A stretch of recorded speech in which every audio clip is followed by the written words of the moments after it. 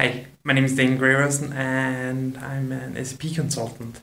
And today I've been having a discussion whether or not to use SAP as a platform for all integration. Obviously, it makes a lot of sense to have the PI. Well, I'm a PI consultant. I do love it. Uh, but one of the things that I've been seeing is when you have moved to the PI platform, the reason I'm a bit concerned is we're now moving to PI from Webmethod uh, Business Connector. And that's going to happen some other time. And there's a lot of legacy you have to develop or develop in order for you to be able to run a new environment. I don't know when the PI will stop maintenance on it. If, if it ever will, it will just be easy to upgrade. Uh, no no need to do a lot of things there, but it could happen. Or your company just change strategy to use Biz, BizTalk or something like that. I don't know why you would do that, but it gives you creating these kind of interfaces does give you a lot of uh, legacy code. So that's why I thought, well, what's the, the downside of using direct connections from, let's say, a portal to the backend system? Uh, you could expose the RFCs of the web methods in the ESR, and that would give an easy access to know what kind of ESR services you have.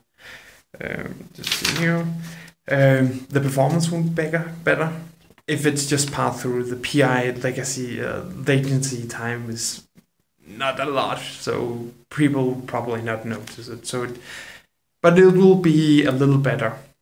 Um, well, the uptime is better. You just have one component to to keep up, and you can do whatever you want with with the PI system. Um, and I guess that's a lot of things that is dealing with how the gateway is doing. There you also have all the integration components built directly into the ERP system and you can deal with it there uh, without having to wonder what else is supposed to be there. If you use PI, um, the, the downside that I can see that is, well, you have some development work you need to, to do to configure everything, make sure it works. Um, if people want to change fields or something like that, you have to do that uh, there. Obviously, if you have multiple different portals that are all using the same functionality, but is maybe working a bit different, the PI is the way to go because it will make you, well, enterprise service enable things and make sure you can just run things the, the way they're supposed to. Uh, the PI can give you some better security. Uh, like if you have this portal in your DMZ and it's enabled to, to call everything into the backend, it may be able to call other services that you don't want people from the portal to be able to call. So calling through the PI will give you uh, and putting a firewall so no direct calls is possible will give you a much better experience for the uh, much secure environment.